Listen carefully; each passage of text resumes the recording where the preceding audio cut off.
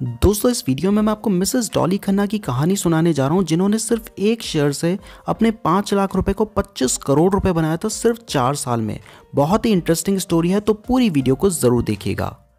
और अगर आप भी शेयर मार्केट में इन्वेस्ट करना चाहते हैं तो आपके पास अपना डीमेट और ट्रेडिंग अकाउंट होना चाहिए। ये दोनों अकाउंट आप एक साथ घर बैठे ऑनलाइन खोल सकते हैं। अगर आप जीरोधा में अकाउंट खोलना चाहते हैं तो लिंक डिस्क्रिप्शन में दिया गया है। और अगर आप अपना फ्री में अकाउंट खोलना चाहते हैं तो मैंने एंजल ब्रोकिंग का लिंक भी डिस्क्रिप्शन में दिया है। आप फ्री में भी अपना अकाउंट खोल सकते हैं एंजल ब्रोकिंग में। जीरोधा इंडिया की बेस्ट ब्रोकर कंपनी है और सेकंड नंबर पे एंजल ब्रोकिंग का ही नाम आता है। दोनों का ही लिंक डिस्क्रिप्शन में दिया गया है। और अगर आप चाहें तो आप दोनों में भी अपना अकाउंट खुलवा सकते हैं। सो so, शुरू करते हैं आज की स्टोरी तो एक्चुअल में ये स्टोरी डॉली खन्ना की नहीं बल्कि उनके हस्बैंड राजीव खन्ना की है क्योंकि उनका पोर्टफोलियो उनके हस्बैंड मिस्टर राजीव खन्ना ही मैनेज करते हैं।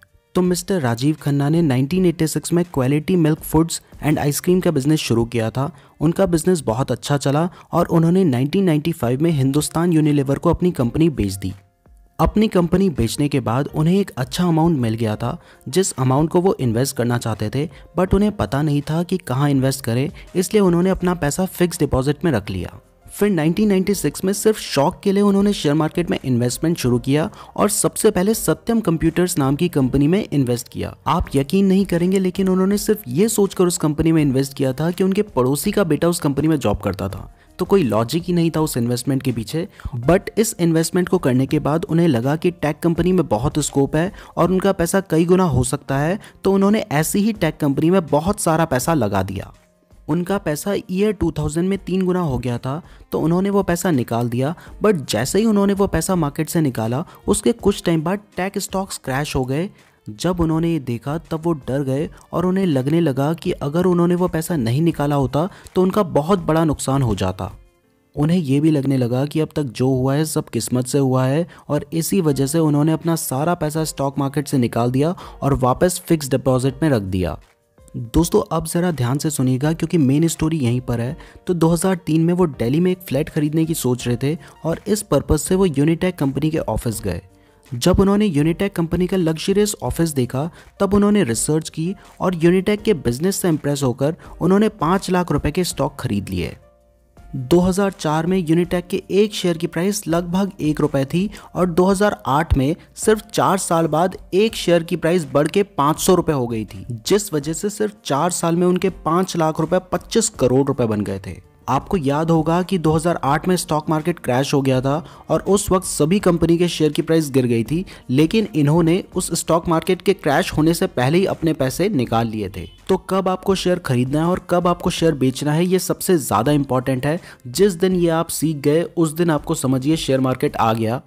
और ये आप उस कंपनी में रिसर्च कर कर और अपने एक्सपीरियंस से ही सीख सकते हैं। मैं आपको यहाँ पे एक बात क्लियरली बता देना चाहता हूँ कि अब आप यूनिटेक कंपनी के शेयर खरीदने की मत सोचना, क्योंकि पाँच सौ रुपये से गिरकर वो वापस एक रुपये पर आ चुका है और अब बढ़ने की भी उम्मीद नज़र नहीं आ रही है।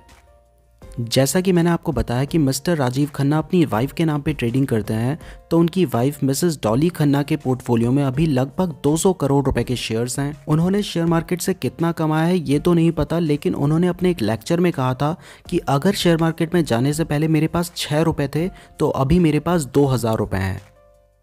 तो इस बात से आप पता लगा सकते हैं कि उन्होंने अपना टोटल पैसा साढ़े तीन सौ गुना से ज़्यादा कर दिया है। अगर बात करें मिस्टर राजीव खन्ना की स्ट्रैटेजी की तो आपने नोटिस किया होगा कि जब भी वो किसी कंपनी के शेयर खरीदते हैं तो पहले वो उस कंपनी पर रिसर्च करते हैं कि वो किस टाइप की कंपनी है, किस तरीके का वो बिज़नेस करती है, उसकी ग्रोथ होने के चांसेस क्या क्या हैं। और अगर उन्हें लगता है कि वो कंपनी आगे बढ़ सकती है, तभी वो उस कंपनी में पैसा लगाते हैं। अगर आप उन लोगों में से हैं जिनको ये भी नहीं पता कि जिस कंपनी में उन्होंने पैसा लगाया है, वो किस टाइप का बिज़नेस करती है तो फिर आपके नुकसान होने के बहुत ज़्यादा चांसेस होंगे। तो जिस कंपनी में आप इन्वेस्ट करने की सोच रहे हो, पहले उस कंपनी के बारे में अच्छे से जान लो, तभी इन्वेस्ट करो। अब मैं आपको मिस्टर राजीव खन्ना की एक एडवाइस बताता हूँ, जो उन्होंने अपने एक लेक्चर में दी थी। तो उनका कहना है कि आपको शेयर मार्केट में इन्वेस्ट करना चाहिए और आप जितनी ज़्यादा यंग एज में इन्वेस्टमेंट शुरू करते हैं, उतना ज़्यादा ही आपका मैक्सिमम रिटर्न आने के चांसेस होते हैं। तो दोस्तों, अगर आप भी शेयर मार्केट में इन्वेस्ट करना चाहते हैं और आपके पास अपना डीमेट और ट्रेडिंग अकाउंट नहीं है तो मैंने डिस्क्रिप्शन में जो लिंक दिए हैं, वहाँ से आप अपना डीमेट और ट्रेडिंग अकाउंट खोल सकते हैं। मेरी आपको एडवाइस है कि शुरुआत में आपके पास जो एक्स्ट्रा पैसा है, उसी पैसे को इन्वेस्ट करें, सारा पैसा इन्वेस्ट ना करें, क्योंकि शेयर मार्केट में रिस्क भी होता है। पहले आप सीखें, उसके बाद इन्वेस्ट करें, तभी कमाई करने की सोचें। अगर आपको ये वीडियो पसंद आई है तो लाइक ज़रूर कीजिएगा। इस तरीके की और वीडियोस देखने के लिए चैनल को ज़रूर सब्सक्राइब कर दीजिएगा और हो सके तो इस वीडियो को शेयर भी कर दीजिएगा। धन्यवाद।